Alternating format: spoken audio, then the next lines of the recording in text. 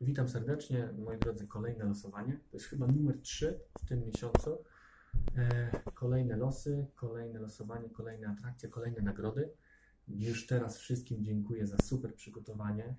Piękna wiedza, szczególnie z powtórek. Tak dużo się nauczyliście e, i już przez te kolejne i ostatnie miesiące.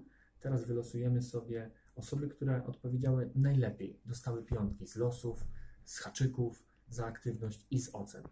Temu całemu losowaniu będzie się przyglądał Kuba, Miłosz, Monika i Wiktoria będą losowały, Hania i Miłosz. Kochani, Miłoszu, zapraszam Ciebie, żebyś zasłonił e, oczy Monice. Nie, muszę ściągnąć okulary, bo wtedy Okej. widzę. Moniko, e, rączkę zanurzamy i e, mieszamy jak najdłużej.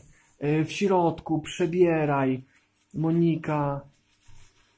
I jedną wyciągnij. I przeczytaj, kto to jest. E, Wiktoria Nadobna.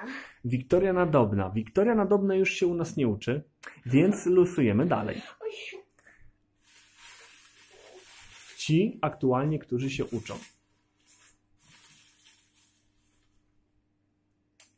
E, Zuzia Nosińska. Zuzia Nosińska. Gratulujemy, brawo.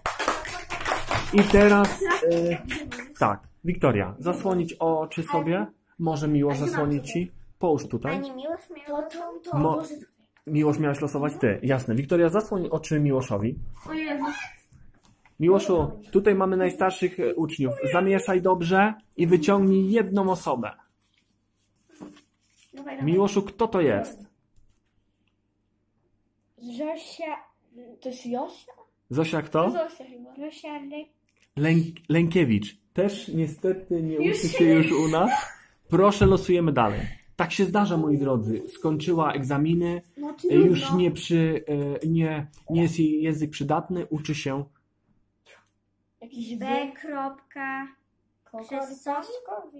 Pokaż. Pan chyba przeczyta, bo ja nie wiem. No. Bogusław Karbownik. Gratulujemy.